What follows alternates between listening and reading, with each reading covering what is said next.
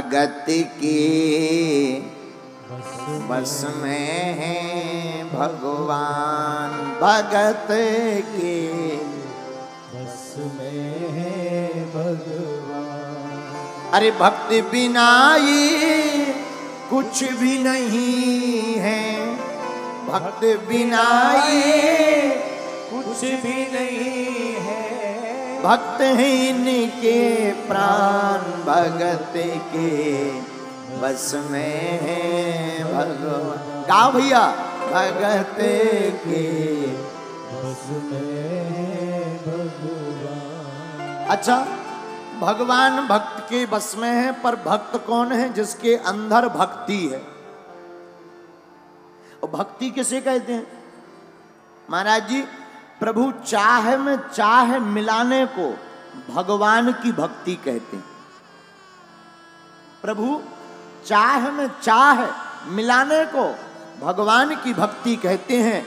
बस जीते जी मर जाने को भगवान की भक्ति कहते हैं।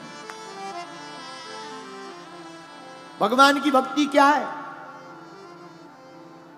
जिसमें परमात्मा की रजा, उसमें भक्त को मज़ा। यह भक्ति है। जो हो रहा अच्छा हो रहा है।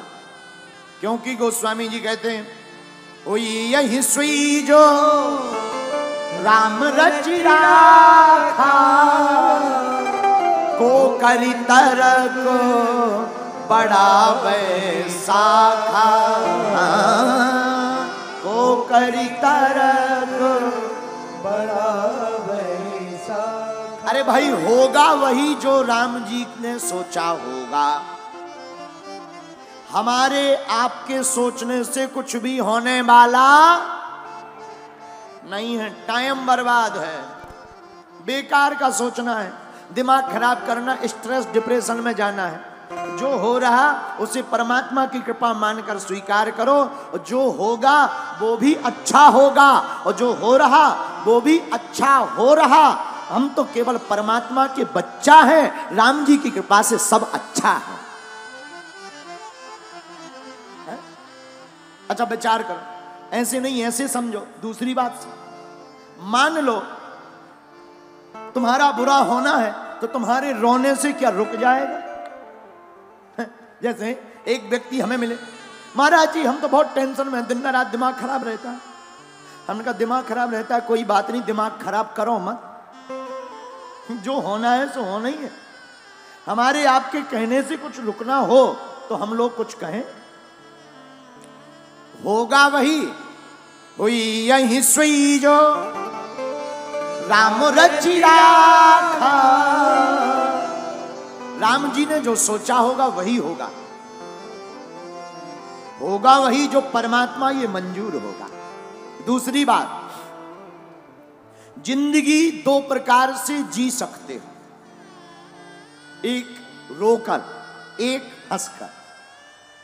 अच्छा रोकर जीने का क्या मतलब?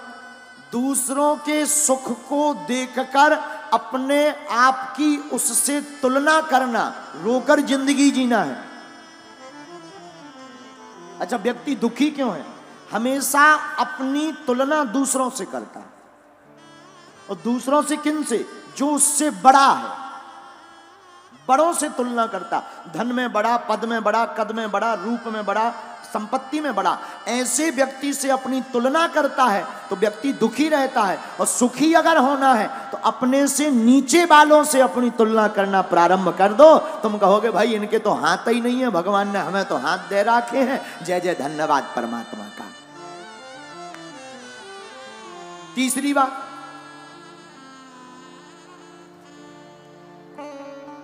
नदी नदी होती नदी। नदी में डूबता कौन है जो हाथ पाँव फटकारता तैरना ना आता हो और कोई नदी में गिर जाए तो वो बहुत जल्दी डूब जाता है जो हाथ पाँव फटकारता हो। लेकिन कभी तुमने मुर्दा डूबा हुआ सुना? क्या महाराज जी, मुर्दा डूबा हुआ सुना? नदी में ज़िंदा आदमी डूब जाता है, लेकिन मरा आदमी ऊपर आ जाता है। यही संसार सागर का सार है। अगर तुम परमात्मा की शरण में रहकर अपने आप का कुछ जमीर ज़िंदा रखोगे तो डूब जाओगे और अपने आप को परमात्मा के शरण में छोड़ दोगे तो तुम डूब करके भी तैर जाओगे।